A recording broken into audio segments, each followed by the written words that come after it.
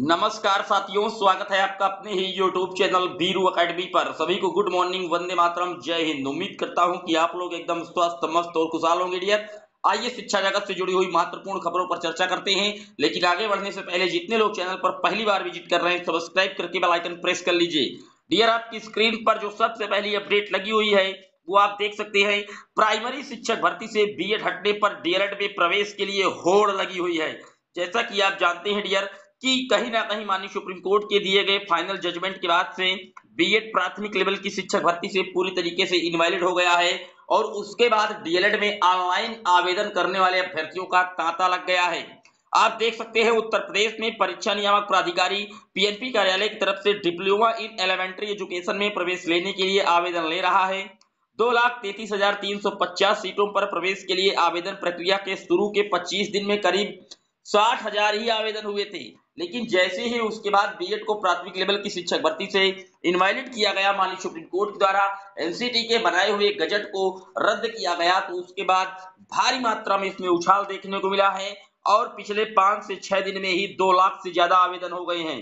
कई वर्ष से खाली रह जा रही सीटें इस बार भरने का पूरा अनुमान है। क्योंकि आप जानते हैं, साढ़े तीन लाख आवेदन हो चुके हैं और कहीं ना कहीं पीएनपी कार्यालय के द्वारा एक बार इसकी डेट फिर एक्सटेंड की गई है। आप देख सकते हैं डीएलएड में दाखिले की तिथि फिर बढ़ी। डीएलएड 2023 में दाखिले के लिए ऑनलाइन आवेदन की तिथि एक बार फिर से बढ़ा दी गई है। 31 अगस्त तक अब ऑनलाइन पंजीकरण आप लोग कर सकते हैं, जो अभ्यर्थी अभी भी सोच रहे थे। वेबसाइट पर काफ़ी एरर था लोड था, क्रैश हो गई थी, साइट चल नहीं पा रही थी तो उसके लिए एक बार डेट को एक्सटेंड कर दी गई है, लेकिन ये फाइनल डेट है, क्योंकि काउंसलिंग इत्यादि का जो शेड्यूल है, वो पीएनपी कार्यालय प्रयागराज की तरफ़ से पूरी तरीके से जारी कर दिया गया है। 12 सितंबर से आपकी काउंसलिंग होनी है, अब इस पर कोई डेट नहीं बढ़ेगी, जो साथी अभी तक वेट कर रहे थे, वो 31 अगस्त के अंदर अंदर ही अपना जो रजिस्ट्रेशन है, वो पूरी तरीके से फिल कर लीजिएगा, डियर। बात कर लेते हैं अगली अपडेट की। तो अगली अपडेट डियर आप देख सकते हैं नए शिक्षा सेवा चयन आयोग में मांगी शिक्षा सेवा सुरक्षा की धारा। उत्तर प्रदेश शिक्षा सेवा चयन आयोग का विधेयक सदन में पेश किए जाने पर अधिनियम 2023 की धारा 31 ए के तहत उत्तर प्रदेश माध्यमिक शिक्षा सेवा चयन बोर्ड अधिनियम उन्नीस सौ बयासी की धारा 18 एवं 21 को हटाए जाने का शिक्षकों ने विरोध किया है। कहा कि यह दोनों धाराएँ नहीं होने से शिक्षकों की सेवा सुरक्षा खतरे में रहेगी। ऐसे में राष्ट्रीय शैक्षिक महासंघ उत्तर प्रदेश ने प्राथमिक से लेकर के उच्च एडेड शिक्षण संस्थानों तक में शिक्षक भर्ती के लिए गठित हो रहे आयोग में यह दोनों धाराएँ जोड़ने की मांग की है। तो नए शिक्षा सेवा चयन आयोग में आप देख सकते हैं, कहीं ना कहीं जो शिक्षा सेवा सुरक्षा है, उसकी धारा जोड़ने की मांग कर रहे हैं शिक्षक। हालाँकि इसका जो विधेयक है, पूरी तरीके से वो कहीं ना कहीं सदन से पारित हो गया है और बहुत जल्द अपनी व्यवहारिक रूप से ये काम करना स्टार्ट कर देगा। इसका हेडक्वार्टर प्रयागराज में बनाया जाएगा और इसमें आप जानते हैं कि 10 सदस्य होंगे और एक कहीं ना कहीं इसका अध्यक्ष होगा और सभी शिक्षा की जो भर्तियाँ हैं, वो इसी से होंगी। प्राथमिक माध्यमिक, उच्च सबको मर्ज करके इस नए आयोग का गठन वर्तमान योगी सरकार ने उत्तर प्रदेश में किया है। डियर, बात कर लेते हैं अगली अपडेट की।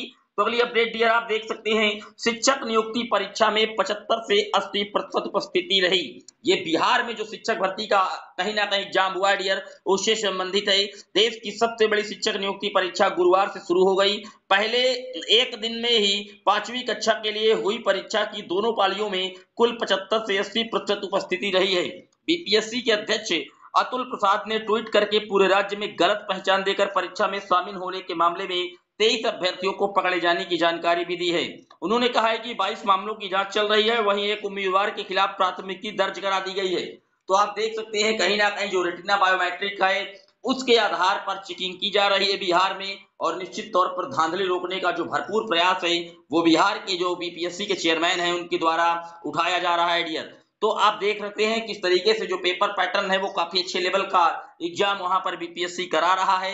लेकिन फ़िलहाल देखने वाली बात ये होगी कि कितने पद इस पर भरे जा रहे हैं, क्योंकि जो बीएड के अभ्यर्थी हैं पूरी तरीके से यहाँ पर शिक्षक भर्ती से अब इनवैलिड ही है, निश्चित तौर पर वो परीक्षा दे रहे हैं, लेकिन जो उनका रिज़ल्ट है, वो रोका जाएगा माननीय सुप्रीम कोर्ट के फाइनल जजमेंट के आधार पर।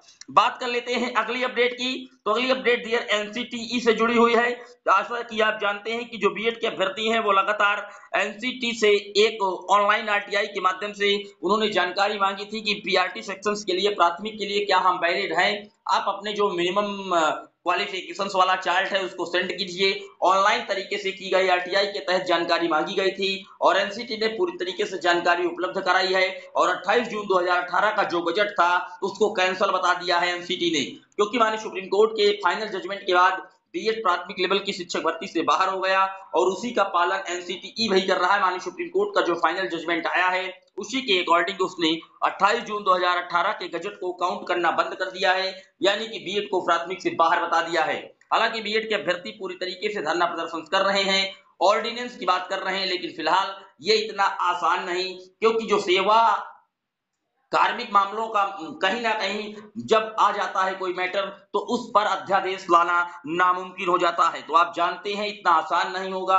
केंद्र की शिक्षा मंत्रालय और एनसीटी के लिए कि वो कोई ना कोई अध्यादेश का जुगाड़ करे। फ़िलहाल बीएड प्राथमिक स्तर की शिक्षक भर्ती से पूरी तरीके बाहर हो चुका है। ये था आज का शिक्षा जगत से जुड़ा हुआ दैनिक वीडियो। कैसा लगा, कमेंट ज़रूर करिएगा। इसी तरह की सटीक ऑथेंटिक अपडेट सबसे पहले पाने के लिए चैनल के साथ बने रहिएगा। वीडियो को शेयर कर दीजिएगा। फिर मिलेंगे एक और वीडियो में। तब तक के लिए जय हिंद जय भारत।